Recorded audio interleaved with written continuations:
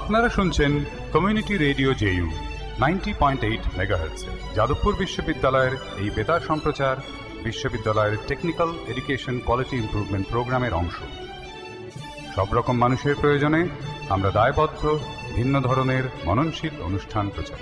Community radio JU ninety point eight megahertz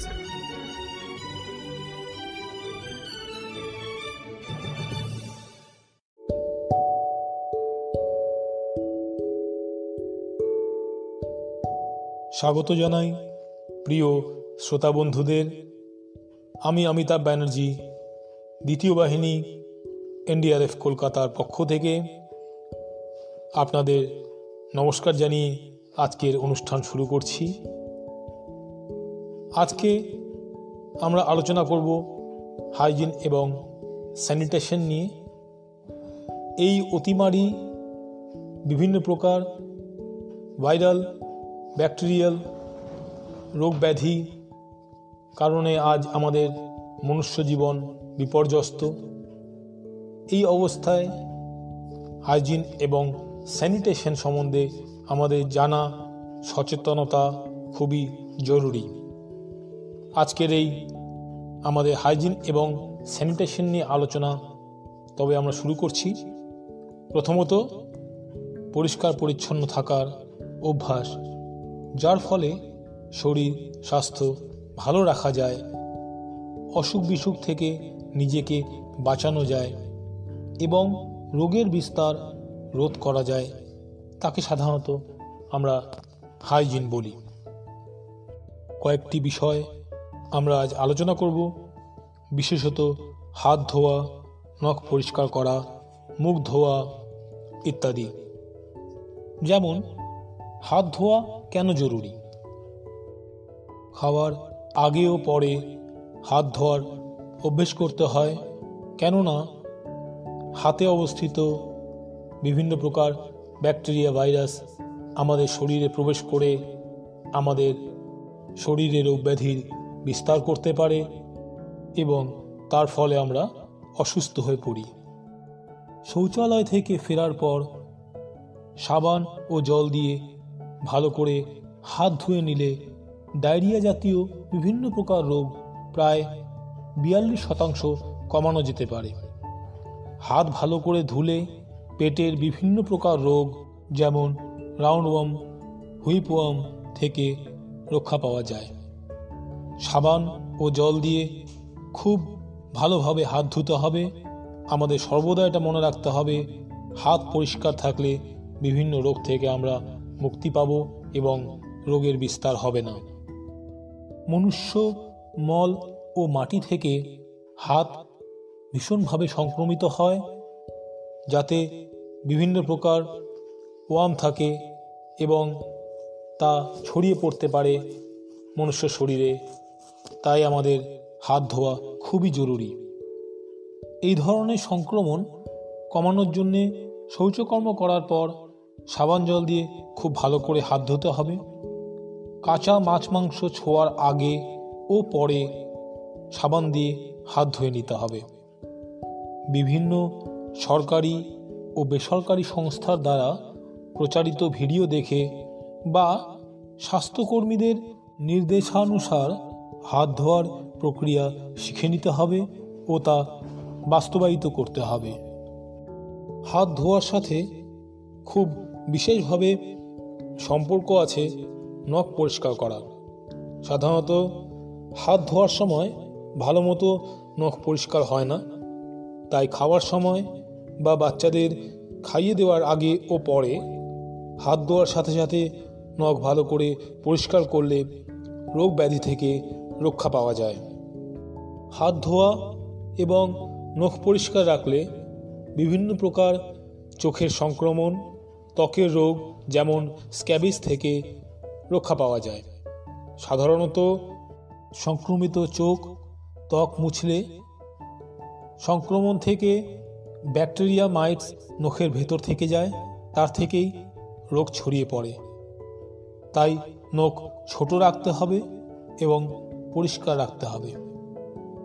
শরীরের পরিচ্ছন্নতা, ত্বকের ইনফেকশন রোধ করতে যেমন ফাঙ্গাল ইনফেকশন জাতীয় রোগ রোধ করতে ভালো করে সাবান দিয়ে স্নান করতে হবে। নিয়মিত জামা কাপড় ভালো করে ধুলে এবং সাবান ব্যবহার করে স্নান করলে ত্বকের জীবাণু থেকে সৃষ্ট বিভিন্ন প্রকার জ্বরের প্রকোপ কমানো যায় এবং নিজেকে সুস্থ রাখা যায়। জমা জলের তুলনায় রানিং ওয়াটার এবং সাবান দিয়ে স্নান করা বেশি উপযোগী। ভালো করে মুখ ধোয়া ওয়াশিং দ্য ফেস চোখের ইনফেকশন কমানোর জন্যে, সংক্রমণ কমানোর জন্যে মুখ ভালো করে ধোয়া খুব জরুরি। যার ফলে কনজাংটিভাইটিস ট্র্যাকোমা ইত্যাদি জাতীয় চোখের রোগ দূর করা যায়। সংক্রমিত চোখ থেকে নির্গত জলীয় পদার্থ পরিষ্কার হয়ে যায় এবং বারবার চোখ মুখ ধুলে তার থেকে রোগের সংক্রমণ অনেক কমে যায়।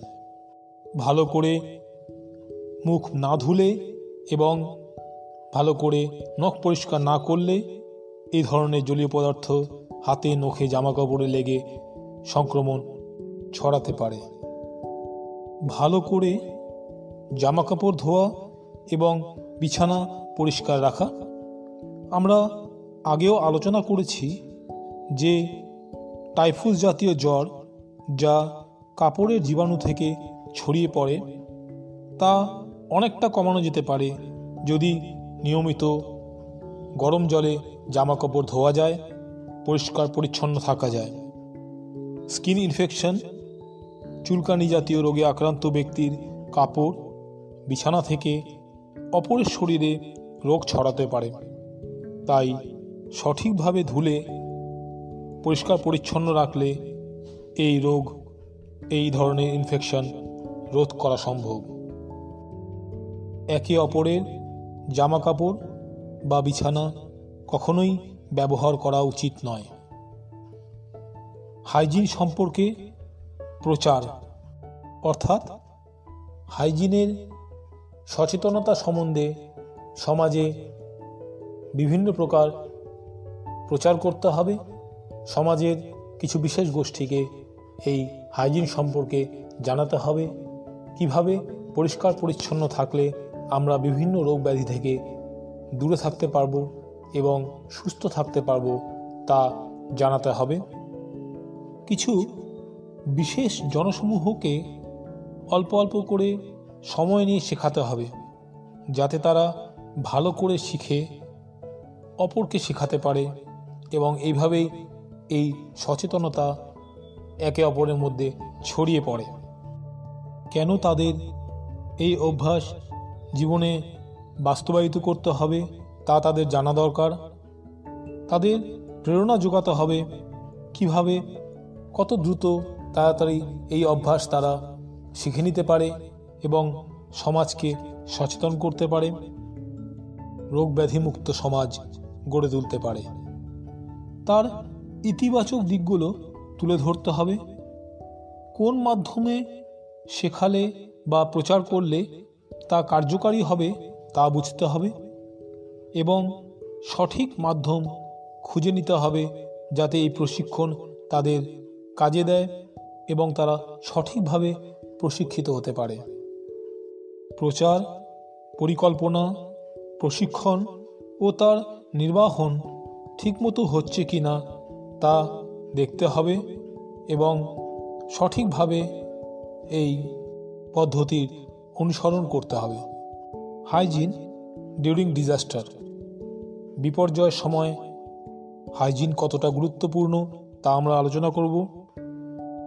আগেই আমরা আলোচনা করেছি body hygiene, hand washing, nail cleaning এই ধরনের অভ্যাসগুলো রপ্ত করতে হবে। সময় মতো সঠিক টিকাকরণ খুবই জরুরি। রান্নার আগে সবজি ভালো করে ধুয়ে রান্না করতে হবে। তার থেকে বিভিন্ন প্রকার রোগ ব্যাধি দূরে রাখা যেতে পারে।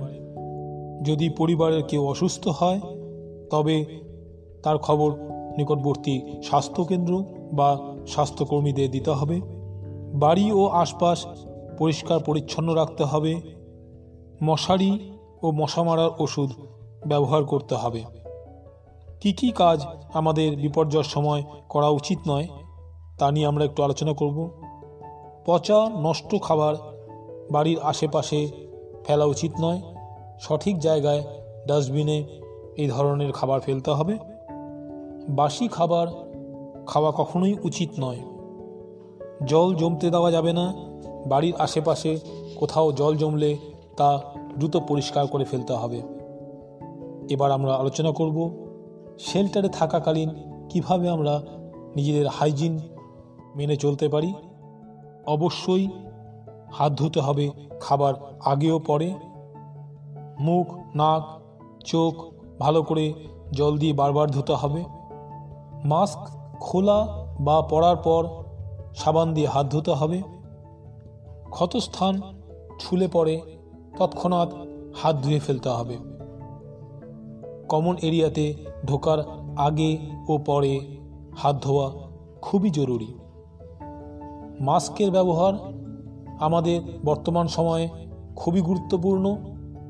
মাস্কের ব্যবহারের জন্য বিভিন্ন প্রকার প্রচার এবং পরিকল্পনা এবং বিভিন্ন অনুষ্ঠান বারবার করে করা হচ্ছে যাতে সমাজের প্রতিটি লোক এই মাস্কের ব্যবহার সম্বন্ধে সচেতন হন এবং বিভিন্ন ভাইরাল ব্যাকটেরিয়াল রোগ ব্যাধি থেকে নিজেদের বাঁচিয়ে সুস্থ রাখতে পারেন এবং এই ধরনের সংক্রমণ যাতে কমানো যায়। আফটার ডিজাস্টার বিপর্যয়ের পর। বিপর্যয়ের পরেও এই হ্যান্ড ওয়াশিং হাত ধোয়া খুবই গুরুত্বপূর্ণ। গ্লাভস খোলার পর সাবান দিয়ে হাত ধুতে হবে। ফেস মাস্ক খোলার পর সাবান দিয়ে হাত ধুয়ে নিতে হবে।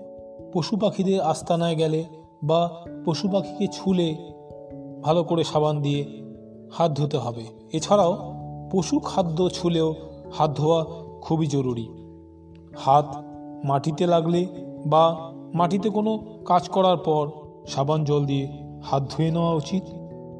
মাটি লাগা জামা কাপড় বিছানা, চাদর ছুলে টয়লেট ব্যবহার করার পর বা কোনো কমন খেলনা দিয়ে খেলার আগেও পরে এছাড়া কোনো প্রকারের ধুলোবালি আবর্জনাতে হাত লাগলে ভালো করে সাবান দিয়ে হাত ধুয়ে নেওয়া উচিত। এই ধরনের অভ্যাসগুলি আমরা রপ্ত করতে পারলে আমরা নিজেদের সুস্থ রাখতে পারব এবং রোগ ব্যাধি দূরে রাখতে পারব। শ্রোতা বন্ধুগণ, আশা করি আজকের এই অনুষ্ঠান আপনাদের ভালো লাগল। অনেক অনেক ধন্যবাদ জানাই আপনাদের। সাথে থাকার জন্যে ধন্যবাদ জানাই community radio JU ninety point eight মেগার্সকে আজ তবে এখানেই শেষ করছি। আমি অমিতাভ, পুনঃ আপনাদের ধন্যবাদ জানিয়ে আজকের এই অনুষ্ঠান এখানেই শেষ করলাম। জয় হিন্দ, জয় ভারত।